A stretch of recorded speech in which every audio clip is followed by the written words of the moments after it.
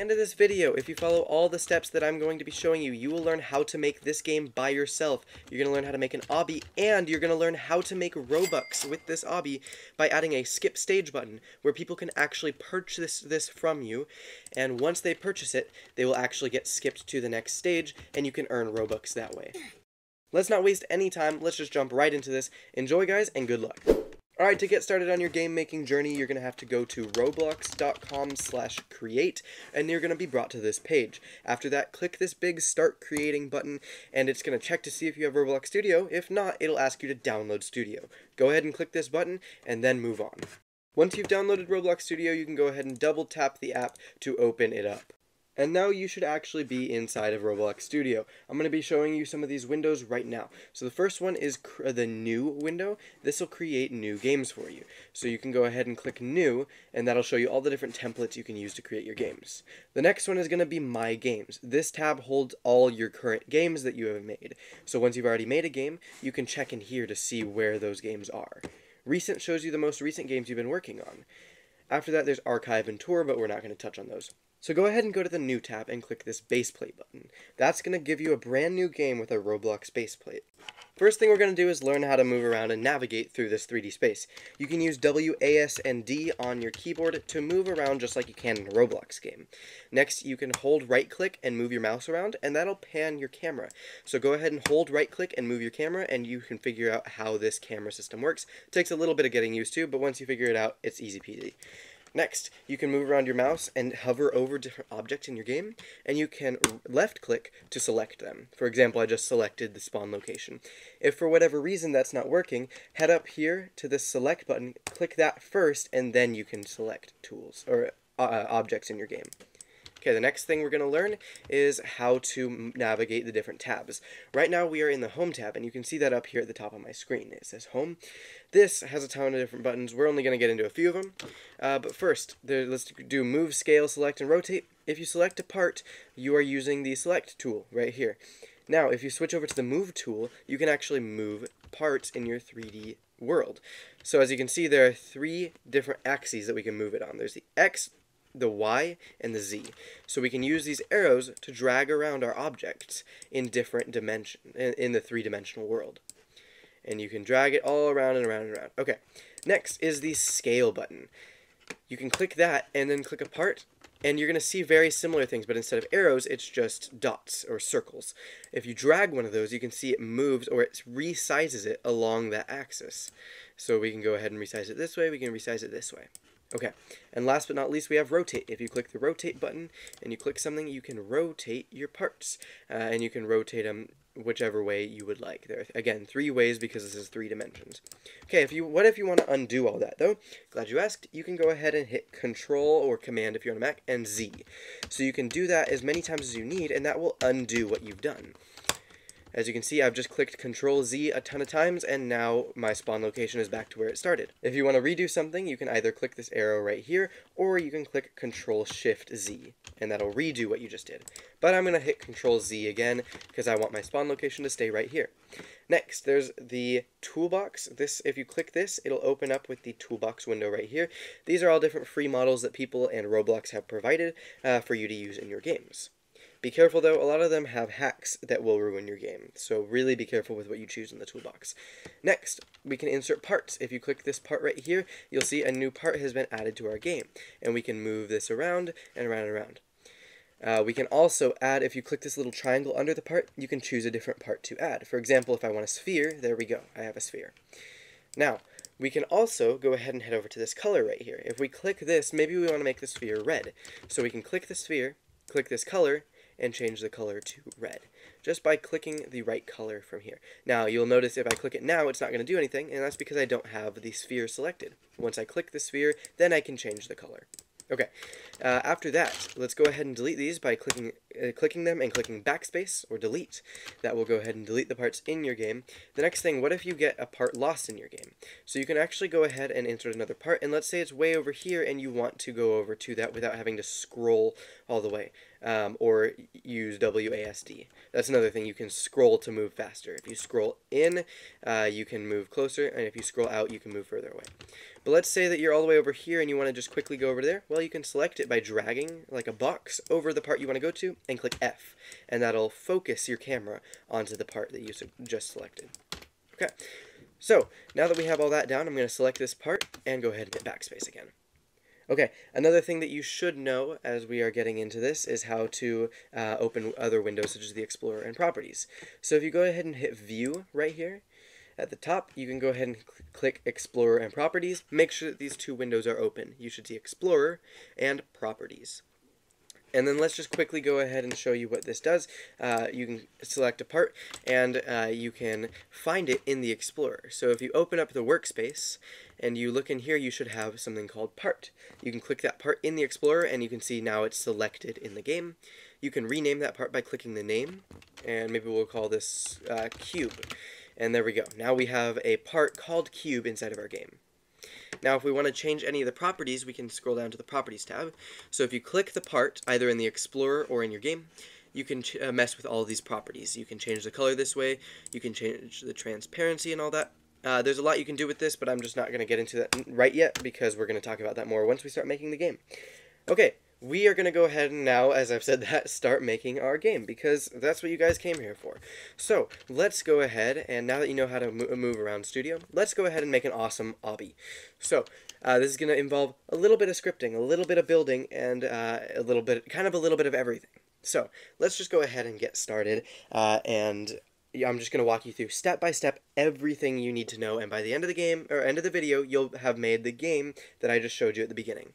Okay, so go ahead and select this base plate in the Explorer and delete it. So uh, if you missed that, make sure you go into the Explorer, find this part called base plate, click it, and click backspace. That'll delete your base plate. Now you can see we just have a spawn point, okay?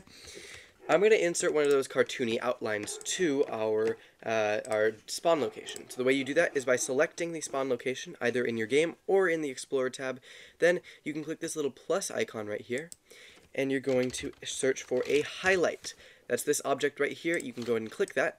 Next thing to do is click that highlight, and I'm going to go ahead and change this fill transparency to 1. That way there's it doesn't make our uh, spawn location a weird color. So right here in the properties, fill transparency, set that to 1 right here. And then you can change this outline color by clicking the color right here and changing it to a black. If you're on a Windows, it might look a little different. And then hit OK. And there you go. Now there's this cartoony outline to your spawn pad. As you can see, it's, it's going all the way around. Perfect. So that's just a little touch to make it look a little bit fancier. Now let's go ahead and make stage one. So what I'm going to do is I'm going to insert a sphere into the game. And this sphere is going to be um, the uh, first object for players to climb on. So I'm going to go ahead and redo that really quick so you guys can see everything I just did. Go ahead and come up here to the part. Click the drop down and click sphere. Now you have a sphere right here.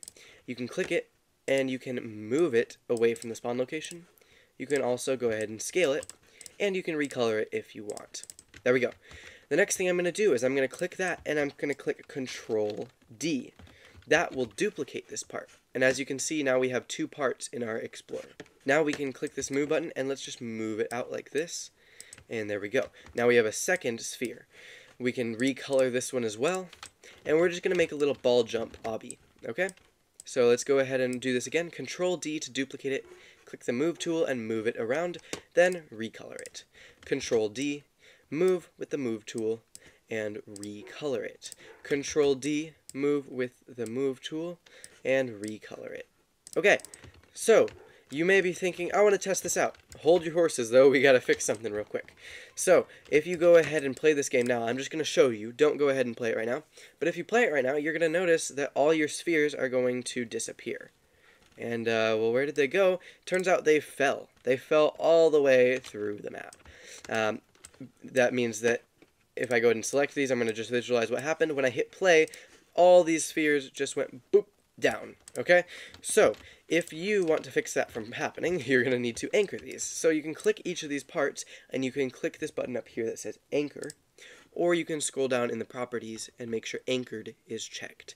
I would personally just go ahead and select the sphere and click this Anchor button up here. If you want to select more than one part at a time, you can hold shift. So if I hold shift and I select all three of these, now you can see all three of them are selected and I can hit anchor and that'll anchor all these at the same time. Okay, let's go ahead and hit play now and we should see that the spheres have stayed in the air and yep, there they are right now. Uh, we can go ahead and play this game. Let's jump, jump, jump, jump, and jump. Oh, I'm terrible at obbies, so I missed that last one. But there you go. There is stage one. Okay, so uh, we're going to go ahead and do a little scripting, though. Because what we want to do is we want to have checkpoints. So I'm going to insert another part. Uh, we're going to just insert a part. Uh, let's do it the way that we've been doing it. So click this drop down and click block. Now, let's go ahead and move this to the end of the ball jump. And we can go ahead and change the color of this. I'm going to make it a green so that people know this is a checkpoint. And I'm going to go ahead and scale it way up like this. Here is our checkpoint. Make sure to anchor it now. And I'm going to go ahead and click it and click the materials right here in the properties tab. Go ahead and click that and select neon. That will make your part glow and people will be able to know, okay, that's my checkpoint. So let's go ahead and click this part, and where it's highlighted in the Explorer, let's rename it by clicking the name and naming this checkpoint. Okay. Next thing you want to do is click this plus icon on the checkpoint and insert a int value. Okay, so click the, the plus, search for int value, and insert this by clicking it, okay? Once you have one, go ahead and rename it to stage, okay? This is going to be the current stage that they're on. So if they press, if they step on this block, we're going to set their stage to be 2. So, inside of the properties of this stage, go ahead and set 0 to 2, right here. So that will mean, okay, once we hit this block, we're going to be on stage 2.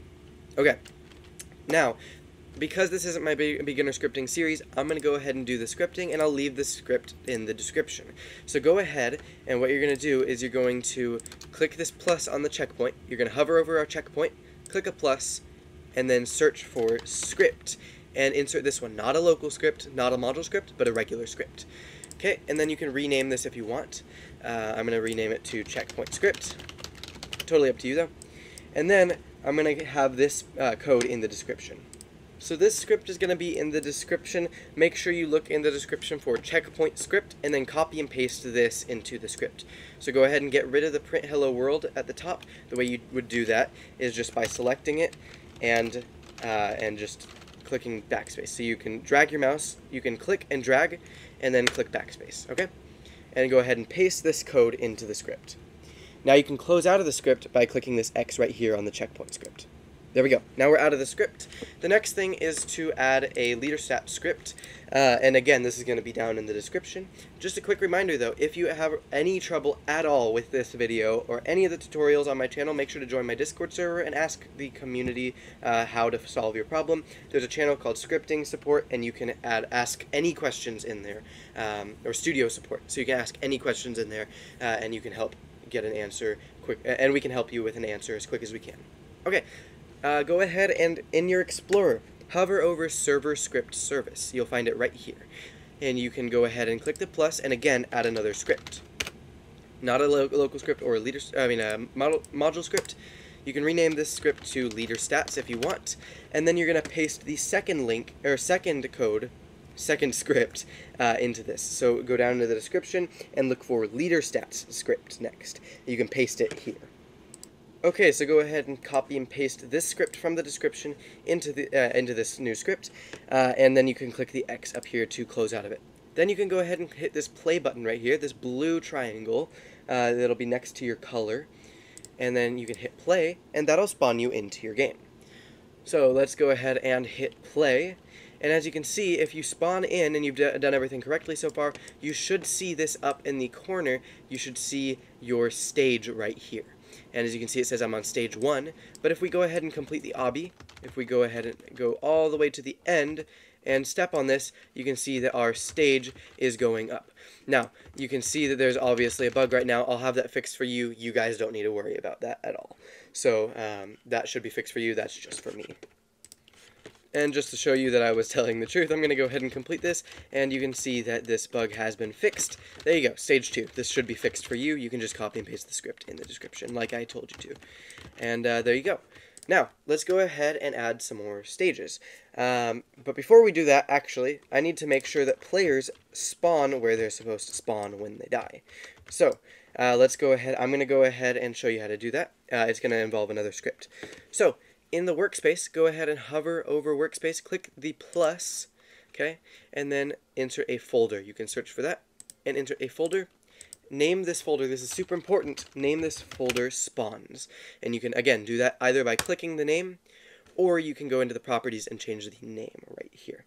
Okay, the next thing you're going to need to do is click this checkpoint, click it again, left click it, and then drag it up to the spawns. And then release it once the checkpoint is on top of spawns. That will put the checkpoint right here, this checkpoint, inside of our spawns folder. This is super, super important, so make sure that you do that. Uh, and if you didn't get that, just rewatch that part of the video.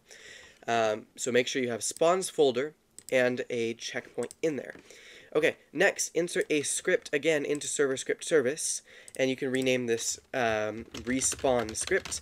Again, this will be in the description. Just look in the description for what says respawn script and paste it into here. So go ahead and paste this code into the script, close out of it again by clicking X, and hit play to test out your obby so far.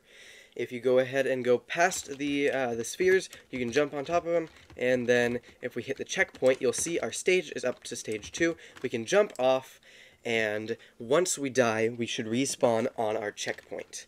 And as you can see, yep, here I am on my checkpoint.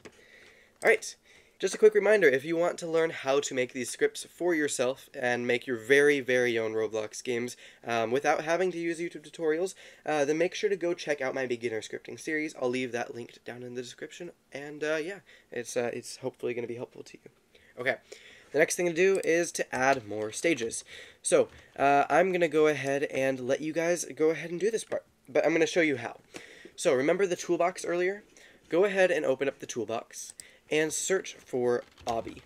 Okay? And in here, you can see a ton of different options for your obbies. Now, again, I, I would be very, very, very careful with the um, obby parts you insert. I would say make sure that when you hover over it, see these this little check mark, make sure that's green and it has a good amount of ratings. That means that a lot of people have uh, have liked this and say it's a good model. Okay, just just to keep you safe.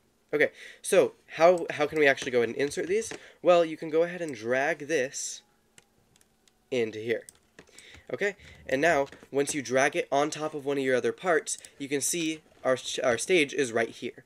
Now, I want to go ahead and move this so it's not in the middle of the other stages, so I'm going to go ahead and click it, click the move tool, and we can go ahead and move this out of the way like this. Okay, so now we have our next stage of our obby. What we're going to do is we're going to click this checkpoint. We're going to duplicate it by cl clicking Control D, and we're going to move it to the end right here by clicking Move. Okay. The next thing you need to do is to click this checkpoint and drop down. See where it's highlighted in the Explorer. So find that. You can open up the spawns folder and open up your checkpoint, and then change your stage to be 3 now. So click the stage inside of this checkpoint. So click the checkpoint, find stage right here, and click uh, this value and change the 2 to be a 3. So that'll tell my scripts that I have written for you guys, hey, now we're on stage 3, now that we've hit this button. And now you can go ahead and add as many stages as you want. I'm going to go ahead and add about two more. Okay, now you're going to get these pop-ups on some of these that say this includes scripts. This can be dangerous, so if you want to be careful, go ahead and join my Discord server and just like ask, hey, do these scripts look good? Um, but I think some of some of them are okay, so I'm going to go ahead and insert this one. I'm going to click OK.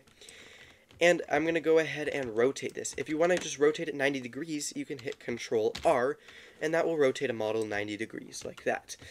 And then we can click the Move tool, and we can move it. Perfect. So now we have our next stage.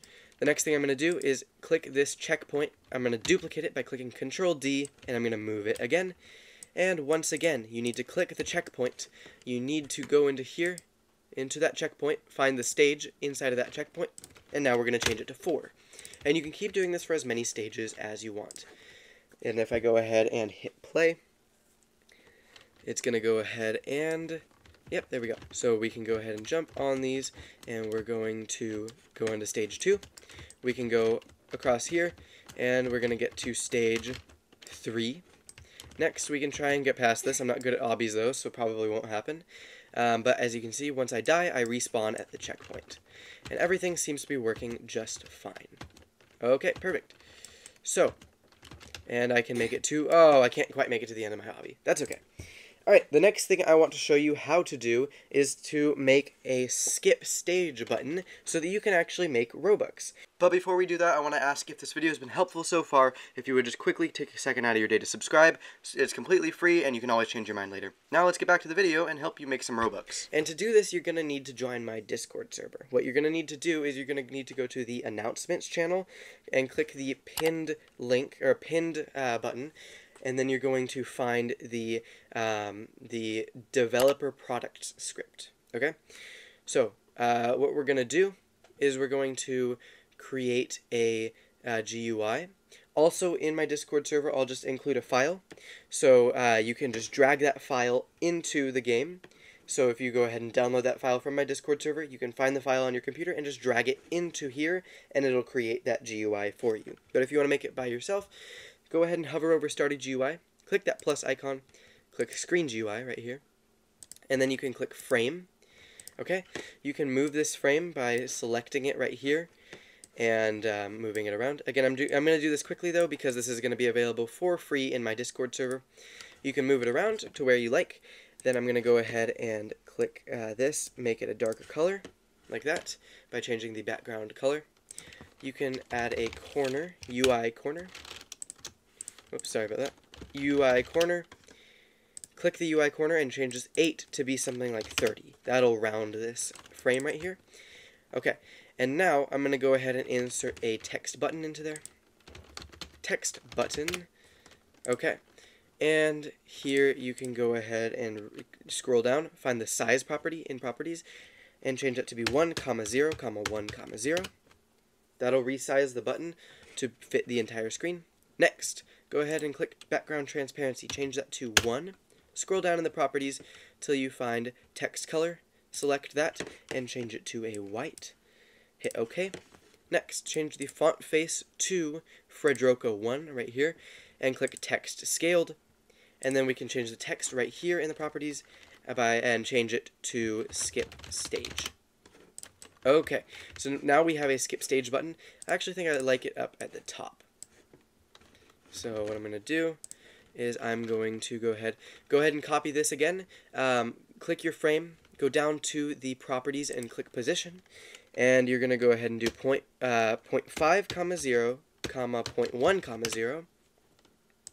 Actually, 0 comma, uh, no. uh, that's right. Anchor point. So you can go ahead and click the frame, go to the properties, and click anchor point, and set that to be 0.5, comma 0.5. Okay, and the next thing you're going to do is click the position right here, and you can set that to be 0.5, comma 0, comma 0.1, comma 0. That'll position it right here.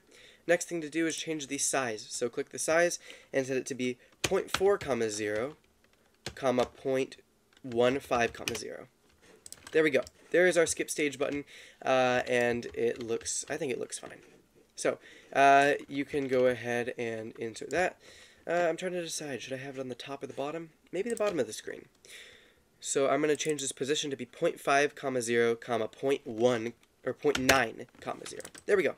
Now we have a skip stage button right here. Next thing to do is click that text label. Uh, hover over it, click that plus icon, and click the local script. Okay? In that local script, you're going to paste the next line of code. This will also be linked down in the description. You don't have to join my Discord server for this. That's just if you want the model. Uh, and the model will include this script, by the way. So if you want to just drag that model into your game, go ahead and join my Discord server and you can find it. But if not, just go ahead and go down to the description and paste this code. So what you're going to do is you're going to copy and paste the script from the description, look for uh, dev product script local in the description, and you can paste that down there the first thing you need to do is actually save your game. And this is a good idea to do kind of right away. Should have done this earlier. The way you're going to do this is by clicking File up in the top left, click File, click Publish to Roblox, then give it a name right here. We can just call this My First Game. Then you can go ahead and click this Create button right here. So once you publish it to Roblox, you should see this right here, uh, well, your game. And that means that it is successfully saved to Roblox. So the next thing to do is open up Chrome or Safari or whatever web, browser you have, and you're going to type in create.roblox.com. This is where you can make your developer product so you can actually earn Robux. Next, go ahead and click Creations right here on your screen, and then find your game. My, I named my game My First Game right here. So go ahead and click that, and it's going to bring you to this next page. So right here on this left side, scroll all the way down until you see uh, uh, sorry, developer products. Okay, so go ahead and click developer products right there, and then click create a developer product. Next, go ahead and give it a name. We're going to call this skip stage, and go ahead and set how many how much Robux it should cost. So we're going to go ahead, I'm going to set mine to be 20 Robux. Really cheap, but uh, don't make it too expensive, otherwise people won't buy it. Then click create developer product. Okay, next, what you can do is you can go ahead and click these three dots and click Copy Asset ID. You're going to need to do this for this step. So click that, and now let's head back to Roblox Studio. Okay, once you're back in Studio, go ahead and click Starter GUI right here. Open up the Screen GUI by clicking these triangles, and the frame, the text button, and open the local script right here. Then you're going to paste all these zeros. You're going to uh, select all those zeros, delete them, and you're going to paste that ID right there. Okay. So make sure you copy, uh, you this is your ID that you just copied in the last step. You're going to paste it there in that script where right before it says your ID here. And after you paste that ID right here, you can close out of your script and hit play, and we should actually be able to purchase our item. Okay, so let's go ahead and come down here, click the skip stage button, and as you can see, it's asking us if we want to skip the stage. Um, just know this is a test purchase. Whenever you do it in Roblox Studio, uh, it won't actually charge your account, so you can actually go ahead and buy it. But you're going to notice, okay, it's actually not working. We're kind of scamming players right now. So let's actually go ahead and fix that so that it teleports players to the next stage whenever they buy this. So to do that, go ahead and again, hover over server script service and click the plus and insert a script. And for the last time, you're going to need to copy and paste one of the scripts from the description. Look for developer product server script down in the description and copy and paste that here. Okay, so you're going to go ahead and paste this script, uh, and what you're going to need to do is you're going to then need to copy your developer product ID again. So close out of the script, then you're going to scroll down to Starter GUI, Screen GUI, Frame, text button in the local script we were just in. Click this, uh, copy this number right here by hitting Control Copy. You can just select all this, hit Control C. Then you can close out of the script again, go to your new script, and replace that ID right here, all these zeros, with that. Okay, that's all you're going to need to do, and you should have this working. I'm going to close out of the script, and I'm going to rename this to uh, skip stage. Okay, Let's go ahead and hit play and test this out.